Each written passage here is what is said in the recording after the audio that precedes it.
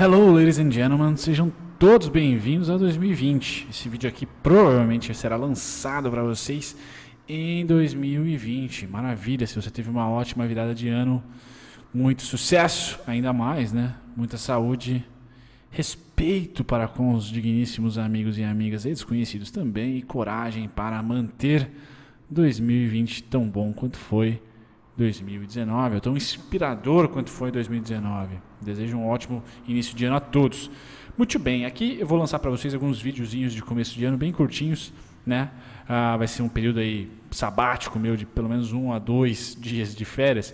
Então vou comentar sobre a direcional para vocês. Graficamente, o que eu tenho para ela? Bom, principal suporte para 2020, na minha opinião, é o 6,63.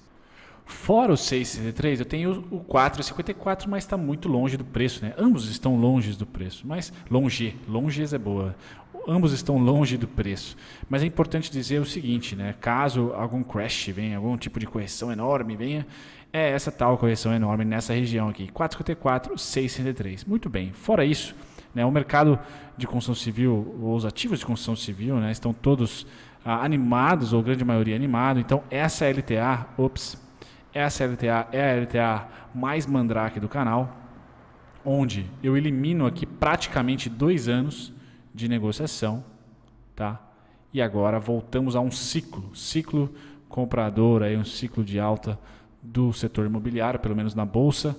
Uh, isso deve refletir em algum momento a economia real, tá certo? Então eu tenho essa movimentação, essa angulação preço-preço, que pra, basicamente de dois em dois anos a ação entra, né, o setor barra ação entra num ciclo comprador.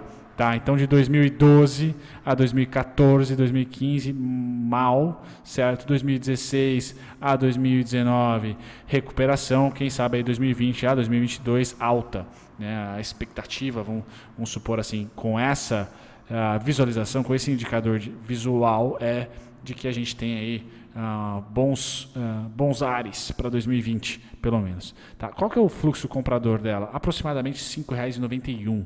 Tá? Quando a gente segue as pegadas dessa, desse touro, né, a gente chega aqui no alvo, ou pelo menos numa máxima que teve, representou 1, 2, 3, 4, 4 barra 5 meses de lateralização, e aí para mais uma expansão, chegamos aqui a 13,50, essa região muito próxima, 13,55, 13,20, fizemos uma máxima ali entre 3,9 e 3,10, e agora, se houver mais um ciclo comprado, vamos para 17,33. O que é importante? Saber quem vendeu. Tá? E aqui eu trago dois vendedores, dois principais vendedores aqui, certo? Um movimento muito parecido com o movimento da VVAR, né? ombro, cabeça, ombro mensal. Então, um vendedor tem a capacidade de gerar 41,57% uh, de perda, né? R$ 3,84 o outro R$ 5,00 ainda em, na região dos 40 aos 45% de perda, R$ 5,12.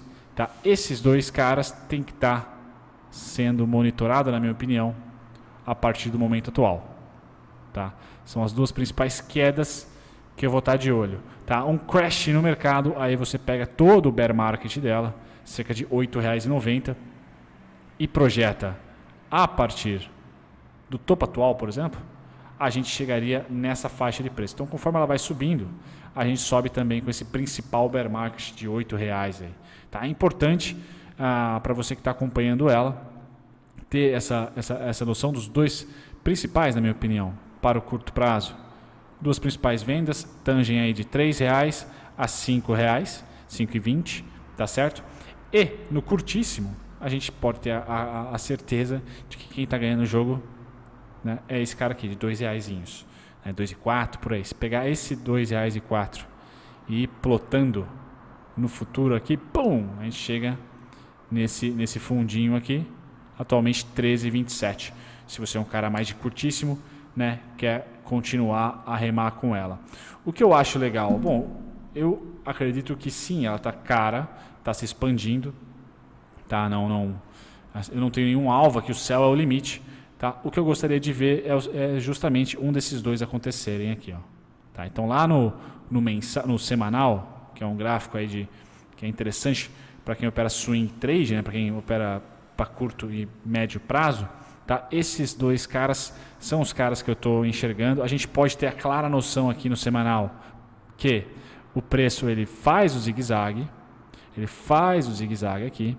Então esse zig ou esse zag é o cara que tá que voltou aqui, tá? E que muito próximo de acontecer aqui, como o preço estava muito depreciado, essa desvalorização toda aqui, ó, quando trazida para cá, chega muito próxima do preço. Né? Então fica pequenininha, tá? Porque saiu aqui de 3 reais e está hoje a, a 15 reais, 13, 15 barra 13 reais nessa época aqui, tá certo?